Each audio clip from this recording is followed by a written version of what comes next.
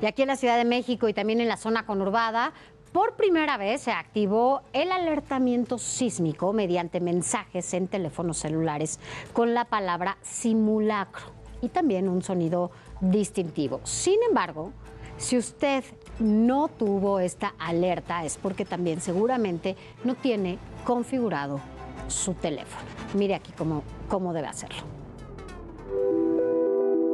Si fuiste una de las personas que no les llegó el mensaje de alerta sísmica en la Ciudad de México y algunas partes del Estado de México en tu teléfono celular, se debe a que no tienes activado los permisos para alertas inalámbricas de prueba. En el sistema operativo iOS, dirígete a configuración, después notificaciones, activa alertas de prueba. Esto también activa las alertas en Apple Watch, de acuerdo con el mismo informe de Apple Support. Pero si eres Android, ve a configuración, busca alertas de emergencia inalámbricas y permite alertas.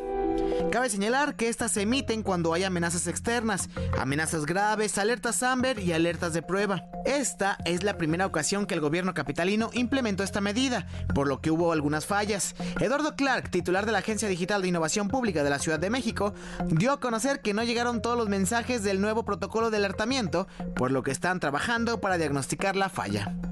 Así que ya sabes cómo activar mensajes de alerta sísmica desde iOS y Android.